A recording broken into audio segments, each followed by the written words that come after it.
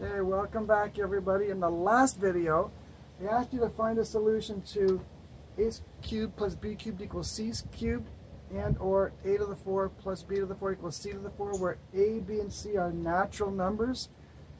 That doesn't include 0 because 0 obviously works. Were you able to find one? Did you get close? Well, in 1637, it turns out that Pierre de Fermat conjectured that if you have a to the n plus b to the n equals c to the n, where n is bigger than 2, like these two examples, that there is no solution. So you should not have found a solution to either one of these equations. Sorry to disappoint you.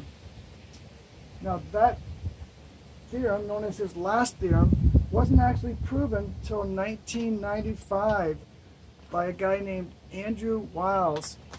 He was obviously very wily or clever to figure that out. And then about 20 years later, he won the Abel Prize for that proof because he was obviously very able.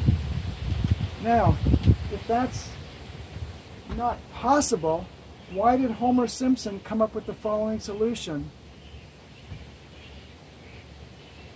3, 9, 8, 7 to the 12 plus 4, 3, 6, 5 to the 12 equals 4, 4, 7, 2 to the 12. Try it on a scientific calculator, which has scientific notation and maybe you know, 9 or 10 decimal points. See if that isn't true. Who's smarter, Homer Simpson, Fermat, or Andrew Wiles?